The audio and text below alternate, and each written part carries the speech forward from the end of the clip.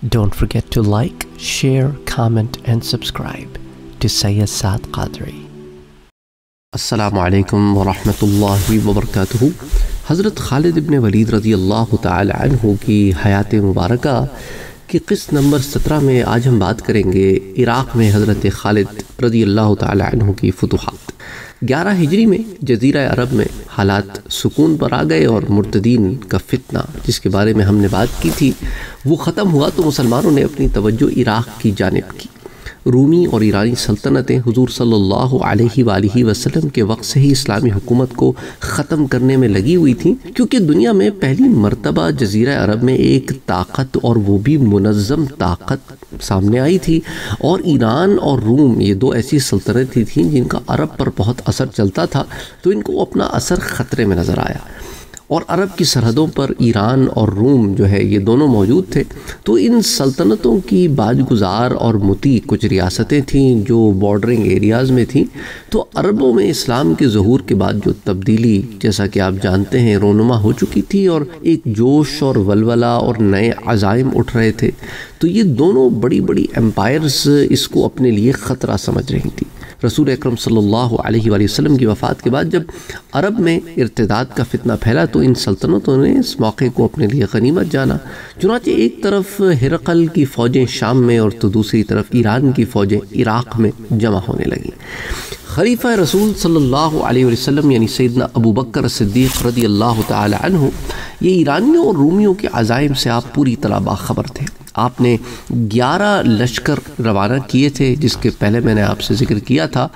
तो इस ज़मीन में एक बहादुर तजुर्बेकार और माहिर शख्स, मुसना बिन हारसा को आपने इराक़ की तरफ़ रवाना फरमाया। और उन्हें हुक्म दिया कि वो इराक़ पहुँच जाएँ, लेकिन शामी फ़ौजियों से लड़ाई न लड़ें, बल्कि छापे मारकर इराक़ी रईसों को डराएँ हती कि उनमें एक तरीके का रोब और दबदबा कायम हो जाए ताकि वो अरबों पर हमला करने की ज़रूरत ना कर सके। जब इर्तदाद का फितना ख़त्म हो गया तो हज़रत मुसरा बिन हारिस ने हज़रत अबू बकर सिद्दीक रज़ी अल्लाह तु को लिखा कि इनकी मदद के लिए कुछ फ़ौज रवाना की जाए।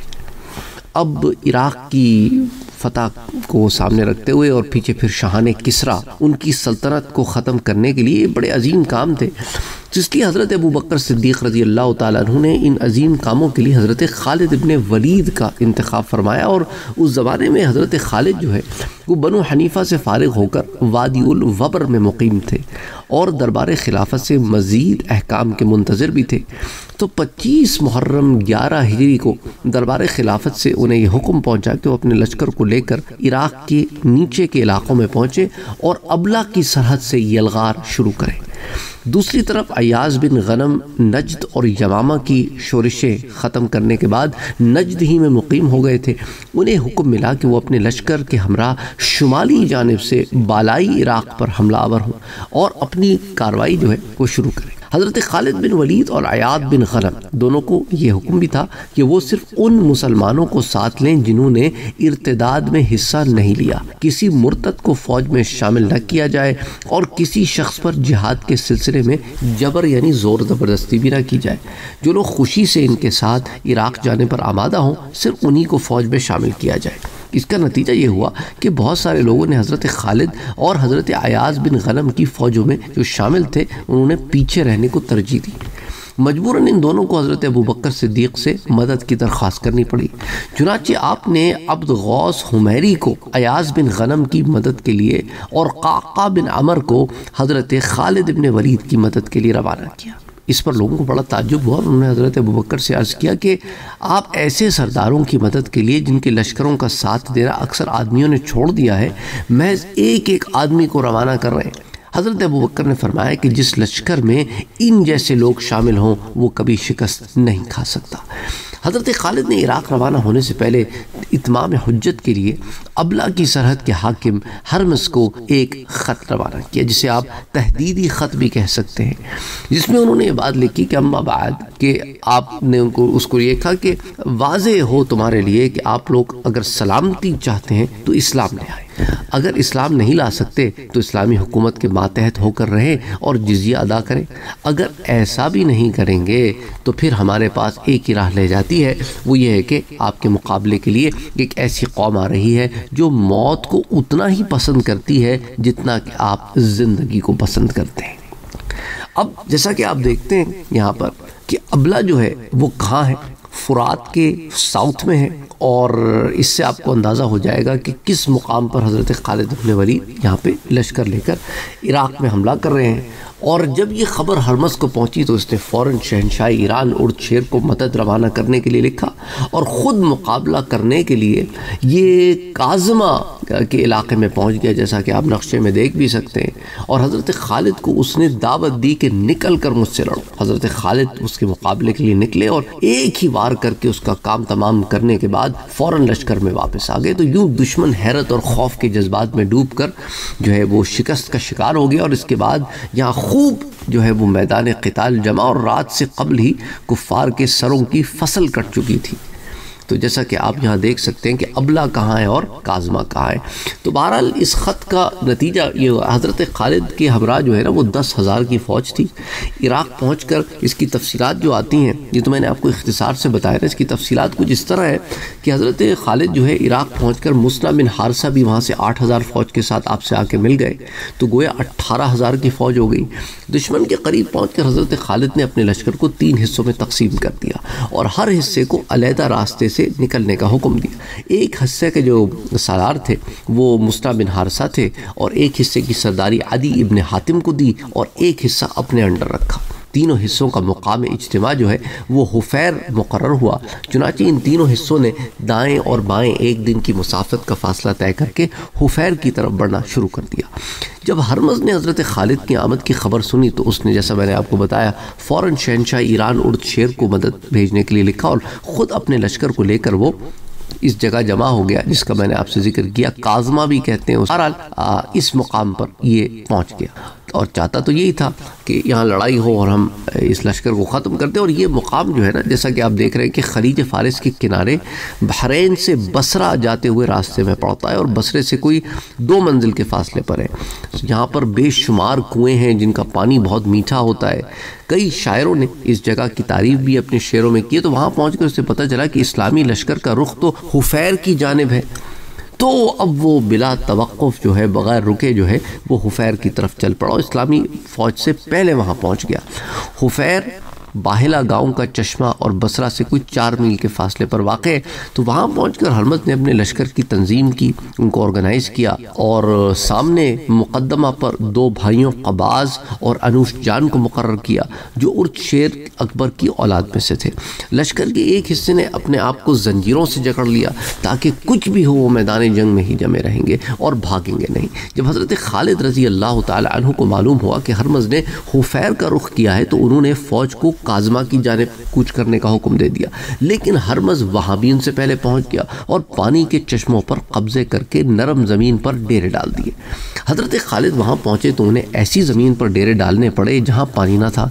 जब लोगों ने इसकी शिकायत की तो आपने कहा, घबराओ मत, फ़रीक़ैन में से जो बहादुर होंगे, वही पानी पर कब्ज़ा करेंगे। और अब आप देख सकते हैं कि ये उबला कहाँ पर है और हुफैर कहाँ पर है और काजमा कहाँ पर है। तो ताकि आपको इस एरिया का ज़रा सा अंदाज़ा हो जाए अच्छा फिर उसके बाद हज़रत खालिद ने इराक़ पर हमला किया तो रद्द अमल में ईरानी आपके मुकाबले में निकले और ईरानियों की बहुत बड़ी मुनज़म और जदीद तरीन असले से लेस फ़ौज जो है, वो हर तरह के हालात से निपटने के लिए तैयार खड़ी थी। यू हैव टू रिमेंबर कि एक एम्पायर की फ़ौज थी।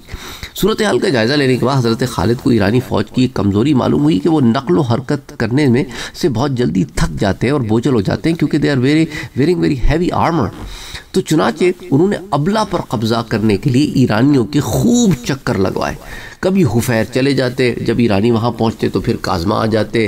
फिर यूँ ईरानी सिपा जो है, वो थक कर चूर चूर हो गई और उन्होंने हज़रत खालिद से मुकाबला करने के लिए बाहम इकट्ठे जीने मरने के अहदो पैमान किए और पाँच पाँच सात सात और नौ नौ अफराद ने एक दूसरे को जंजीरों में बाँध दिया ताकि दुश्मन के मुकाबले में चट्टान बनकर खड़े हो जाए और कोई राह फरार इख्तियार ना कर सके।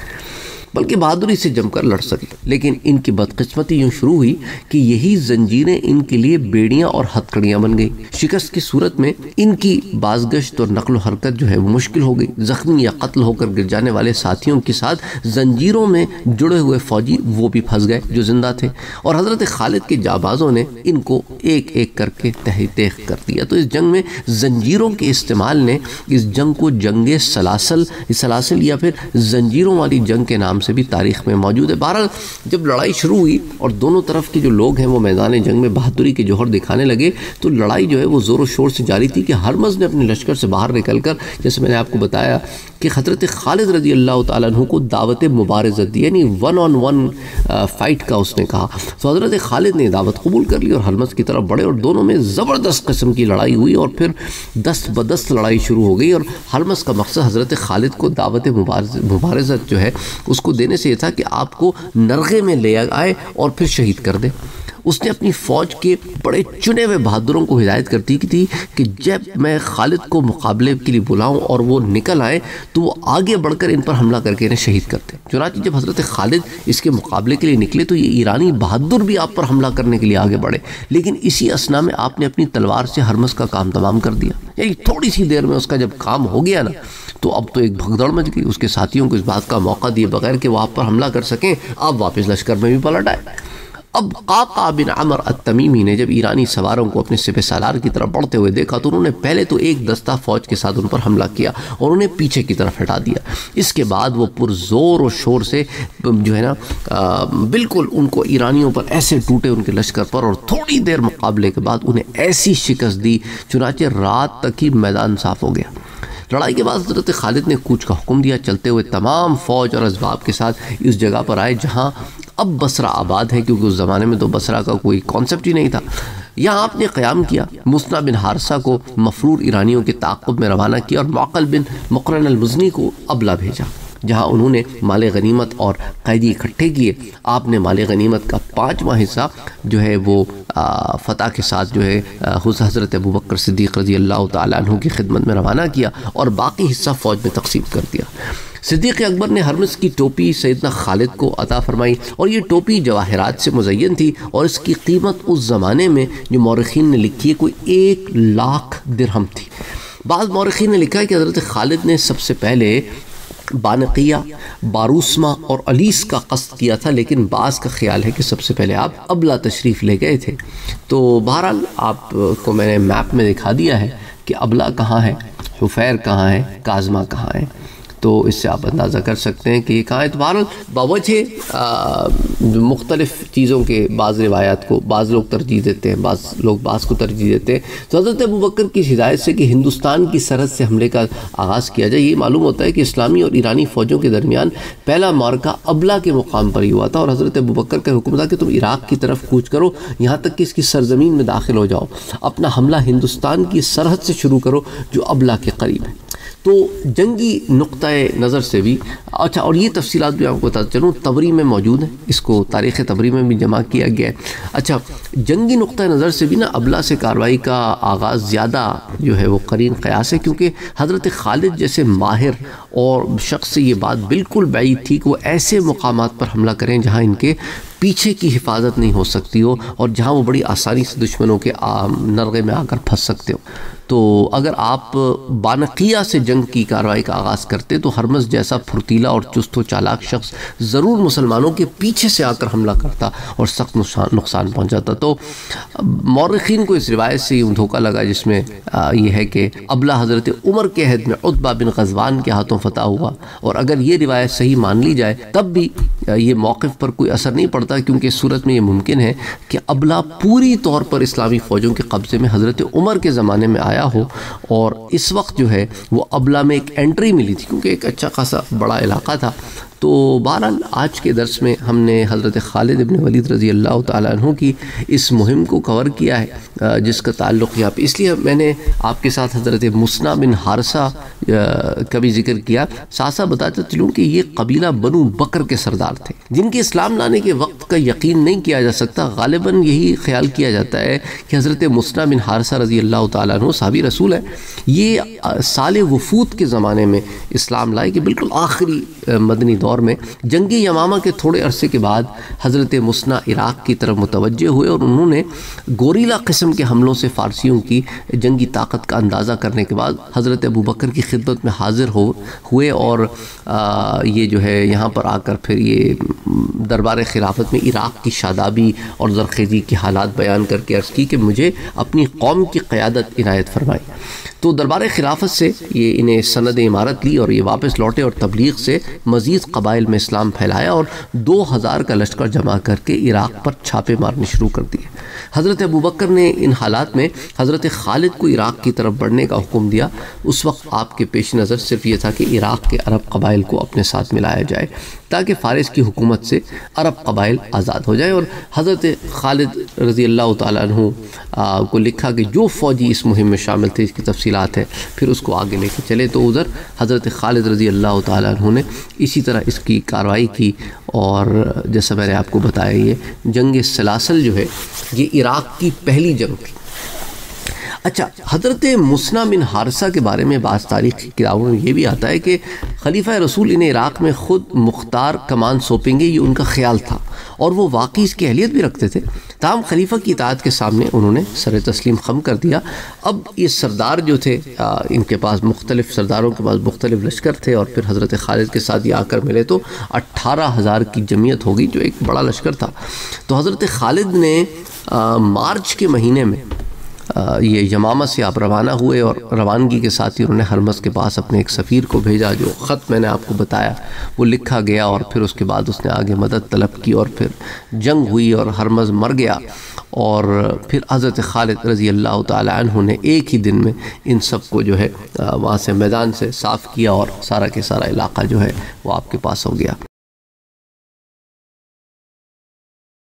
अच्छा ये जो दो लोगों का मैंने आपसे ज़िक्र किया था ना जो हरमस की फ़ौज में थे कब्बा कबास और अबू शुजान इन्होंने अपने लश्कर को बाज गश्त का हुक्म दिया। जंजीरों में बंधे हुए ईरानी जो है ये बहुत ज़्यादा मरे भी लेकिन कबास और आ, इसने अबू शुजान ने अपने लश्कर की काफ़ी तादाद को ये भगाने में भी कामयाब हो गए। तो हरमज़ान की एक लाख दिनार की जो टोपी थी, वो फ़ौजी दस्तूर के मुताबिक हज़रत खालिद को मिली और माल गनीमत का पाँचवा हिस्सा जो है वो दरवाजे दरबार खिलाफत को भेज दिया गया। हर सवार के हिस्से में एक हज़ार दिरहम और हर प्यादे के हिस्से में तीन सौ दिरहम आए। हज़रत खालिद रज़ी अल्लाह ने हरमज़ान की टोपी भी दरबार खिलाफत में भेज दी, मगर खलीफ़ा रसूल सल्लल्लाहु अलैहि वसल्लम हज़रत अबू बकर ने इन्हें वापस लौटा दी। कि हज़रत खालिद को जब ये टोपी इनायत हुई तो आपने भेज दी और फिर वापस आपको लौटा दी गई। तो फ़ारसियों और इनके मददगार अरबों के अहलो इनको गिरफ़्तार कर लिया गया, मगर जिन लोगों ने जंग में अमला कोई हिस्सा नहीं लिया था, इन्हें कोई नुकसान नहीं पहुँचाया गया और उन्होंने जिजिया देना मंजूर कर लिया। और हरबज ने हज़रत खालिद के इराक़ पर हमले की इतला इतला जो है वो दरबारी ईरान में भेजी थी तो वहाँ से एक बहादुर सरदार था कारण ये फ़ौज लेकर रवाना हुआ। तो इस पर फिर इन ताला ज़रा बात करते हैं अगली दफ़ा अल्लाम वरहमल वर्क Don't forget to like, share, comment, and subscribe to Sayyid Saad Qadri.